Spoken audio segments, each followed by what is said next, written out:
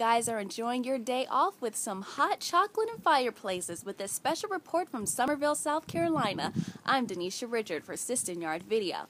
Now, we didn't get as much snow as we expected, but we did get a significant amount of ice. If you look down in the ground in my home here in Summerville, you can see that there is ice, ice, and even more ice. We are currently in an icy wonderland and as a result of that ice a lot of people here in the Summerville area are stranded in their homes including a lot of off-campus students as myself.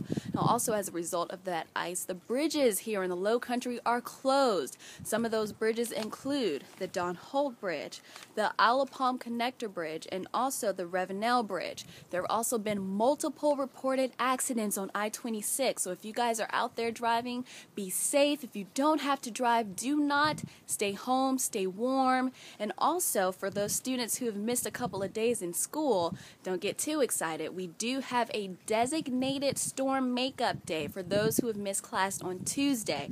That designated storm makeup day is Saturday, February 1st. Now, the college understands that students may have made prior arrangements, so if you are not able to attend your classes, be sure to keep that open communication with your professors so that you're not held accountable.